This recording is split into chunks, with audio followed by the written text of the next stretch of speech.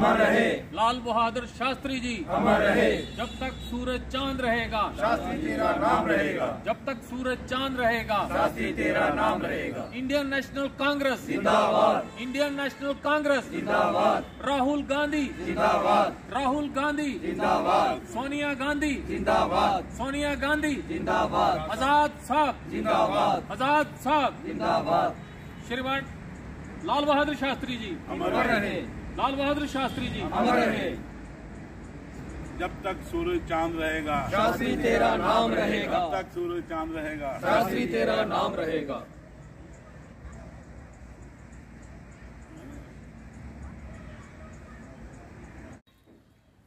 देश के दूसरे प्रधानमंत्री श्री लाल बहादुर शास्त्री जी की पुण्यतिथि को हमने मनाया। कांग्रेस यूनिट हीरानगर ने उनको शत शत नमन किया और ये उनके जो दर्शाए गए मार्ग पर चलने की कोशिश भी हम करेंगे। साथियों, इनका जो नारा था, जय जवान, जय किसान,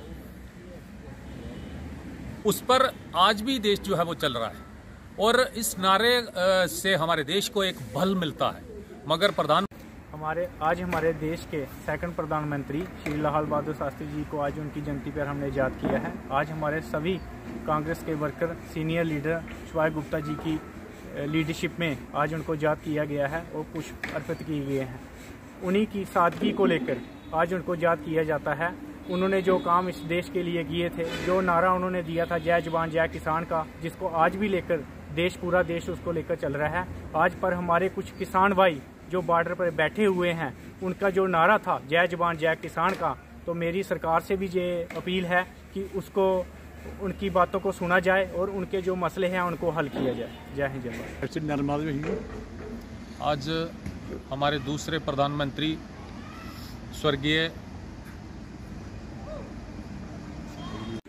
हमारे स्वर्गीय प्रधानमंत्री लाल बहादुर शास्त्री का हम आज दिन मना रहे हैं आज के दिन बड़े दुख के साथ इस देश पे एक घड़ी आई, जिससे हमारे जो प्रधानमंत्री थे, वो हमें छोड़ के चले गए।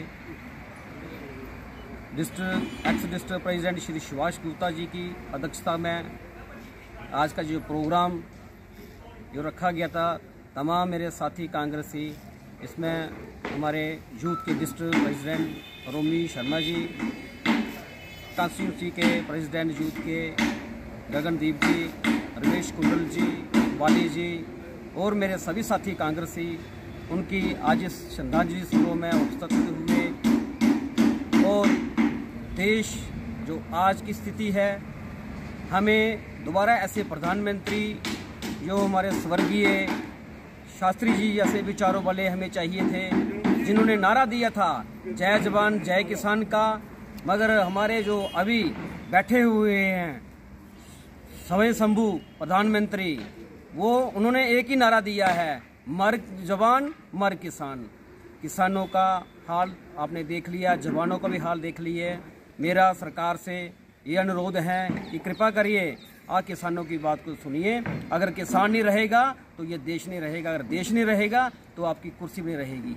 जय हिंद, जय भारत।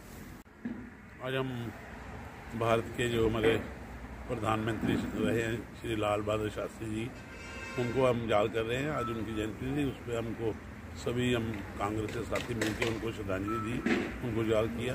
उन्होंने जो हमारे देश के लिए किया, उसका हमने आज आज उनको उसके लिए याद किया। उन्होंने एक नारा दिया था, जय जवान, जय किसान वो किसान की भी इज़्ज़त करते थे, जवान की भी इज़्ज़त करते थे। उनके टाइम पे यहाँ एक वाइट रेवोल्यूशन आया।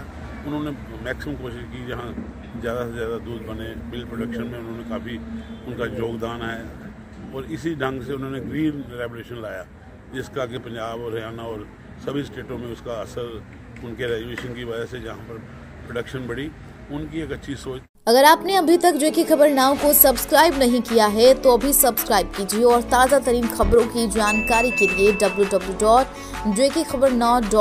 पर देश दुनिया की खबरें भी आप देख सकते हैं।